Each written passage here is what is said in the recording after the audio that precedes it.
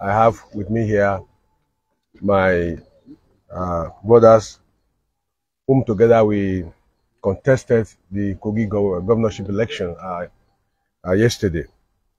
Uh, I have on my immediate um, left Prince Shuaibu Abubakar Audu. Professor Stephen Ikani Ocheni, former minister. Yakubu Murtala Ajaka. You didn't tell them you are from National Secretariat of APC. From the National Secretariat of APC. Yeah. well, once again, um, my colleagues in the media, let me thank you for coming. Uh, this press conference is going to be very brief. It's to discuss a new phenomenon of um, electoral malpractices, embedded corruption in the electoral process of our country. I've heard of riggings of elections, but I've not heard of the new phenomenon, which we must do all that we can to stop in this country. The governorship election was scheduled for yesterday. As expected, all of us were in our various wards, having gone around quite a number of areas of the state.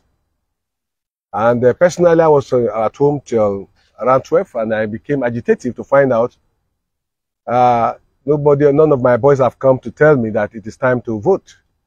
Because normally I stay and I allow them to say, okay, you can come now. By the time we were leaving the house around 1 p.m., the election, of course, was supposed to be concluded by 2. And what we had was ele- uh, election results were already being announced.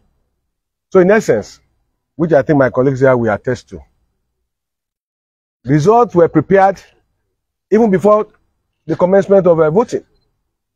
Announcements were made, and I was taken aback.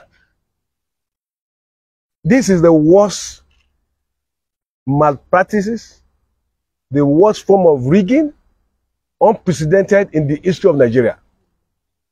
That you will write result of a governorship election where some people were persuaded and cajoled and, and forced to step down. Those of us who had the courage that it is democracy. If we are defeated, who will not bother?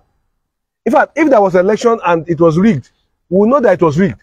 But where there is no election at all, and for somebody to have the audacity to write result and went ahead to announce it. Now, where we have come out,